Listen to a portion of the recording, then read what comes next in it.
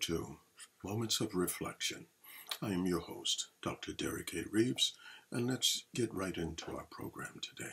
Today we're going to talk about what do you do with the stuff in my mind, or dealing with the stuff in my mind.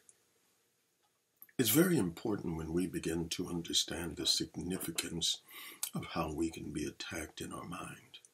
In doing some studies for eschatology, I've come across many different things over the years, but what amazes me is that the totality of mental operations, or most of it, takes place in the unconscious mind. And it is only about 2 to 0.005% that takes place within the conscious mind. And so, if these things are transpiring in the unconscious, and most of us never look at the unconscious mind, most of us are oblivious to what goes on in the unconscious mind, how then do you determine what thoughts are yours? How do you keep track of the thoughts that are progressive and the thoughts that are healthy, or those thoughts that are destructive and lurking? How do you determine which thoughts you are consistently empowering and forging into neural pathways? And so when I begin to think about this, I begin to understand that so much of the mind is left vulnerable to the enemy. So much of the mind is left vulnerable to others who understand reverse transference, how to make you feel guilty and how to make you feel as if you are responsible for all of their woes and troubles. And so when I consider this, it's very interesting because it is a valid problem.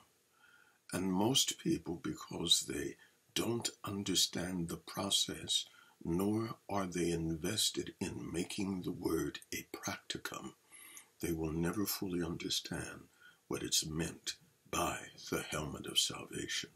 The helmet covers the mind and covers the brain and so far, uh, so forth, and therefore it deals with a covering that guards the mind and keeps you locked within the understanding of salvation and what salvation is and how Christ has applied it to our hearts, to our minds, and totally to everything about us.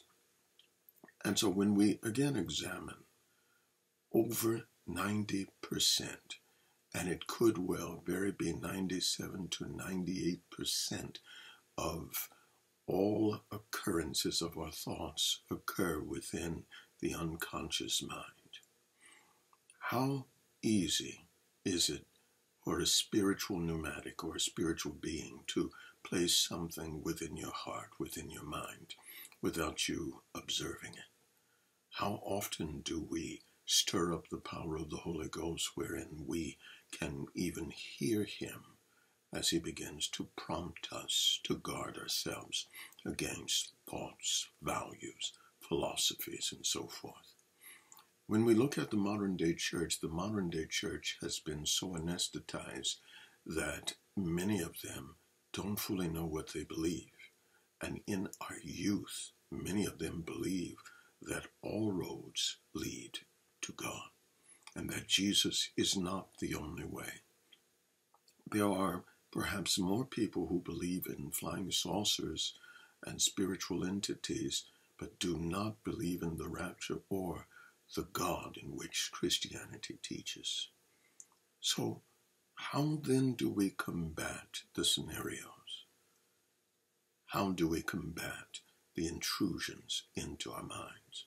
There's even been some experimentation where individuals can shoot radio waves into the mind to program certain beliefs, certain thought processes that later on, when specific tunes or sounds or words can prompt an individual to do something that was subconsciously implanted. We're living in a time where we must put on the full armor of God. This has been moments where I simply reflect on specific things, moments of reflection by just that, things that come to me that I begin to consider that maybe I'll turn into a much larger comprehensive study, or sometimes it's a passing thought that causes me to wonder and gives me the desire to go a little further. I thank you for joining me. I'm your host, Dr. Derek A. Reeves, and until next time, this has been Moments of Reflection. God bless.